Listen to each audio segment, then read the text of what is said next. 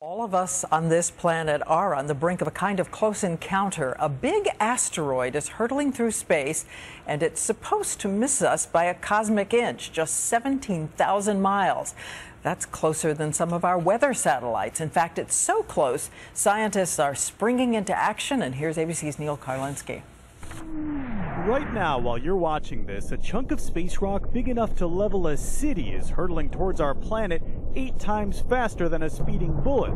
The good news is, scientists say it will miss. The scary news is, the 130,000 metric ton asteroid called DA 14 is the size of half a football field and it will be much closer than the moon. In fact, it will thread the needle between Earth and the roughly 600 satellites around us, the ones that your cell phone relies on, possibly even smashing one to smithereens on its way by. But if that's why you're thinking this is all still a long, long way from all of us way down here walking the streets, you may want to think again. The last close call turned out to be a direct hit. It was 1908, and luckily it hit the middle of nowhere, Siberia, decimating a thousand miles of trees, but no people. If a very large asteroid hit, it would probably create the same kind of disaster that wiped out the dinosaurs. Amazingly, no one knew DA 14 was headed our way until a Spanish dentist and amateur astronomer randomly discovered it a year ago. NASA doesn't have the resources to look for asteroids, which is why a trio of American astronauts and rocket scientists are raising money to launch their own asteroid early warning system called Sentinel, a dedicated telescope scanning the stars for threats. This asteroid is a wake up call that we should be looking out there. These things do hit the Earth. Scientists say we can keep the planet safe if we just know what's out there headed our way.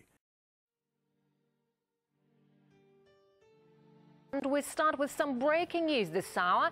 People in the Urals in Russia have seen burning objects raining down from the sky after a meteorite exploded above the Earth, causing a meteor shower. Eyewitnesses reported several blasts rocking the region and as long trails of smoke in the air. And RT's Lucy Kafanov has more now. So, Lucy, what's going on there? Hi there, Yulia. Well, remember, uh, imagine you're driving to work on a beautiful, calm Friday morning, and suddenly a massive fireball appears out of nowhere in the sky.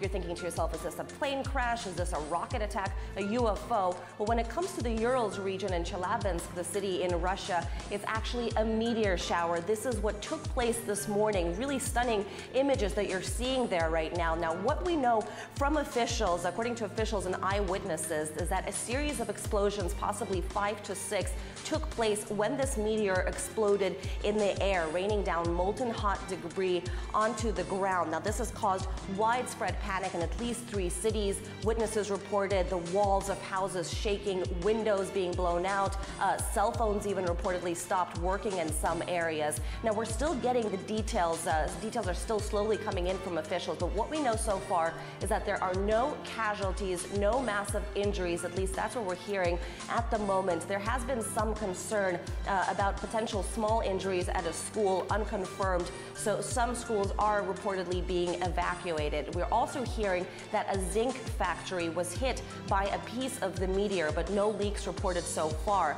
Um, officials did do preliminary testing of radiation levels in the area. They say that that is okay, but of course tests are going to continue throughout the day. The biggest issue right now is the falling debris and the smoke that the black smoke that people are reported uh, reporting that is hanging in the air. So very, very shocking developments probably not the kind of surprise you want to see on your way to work on Friday morning. Uh, one interesting uh, fact of note is that the world is closely watching another meteor that's supposed to graze past the Earth later on this evening. That's the size of an Olympic-sized swimming pool. This is an unrelated incident, and of course, as it develops, we will continue to bring you more information. Again, no casualties reported so far. Radiation levels are okay at the moment, but of course, we'll have to keep keep you up to date as the developments come in.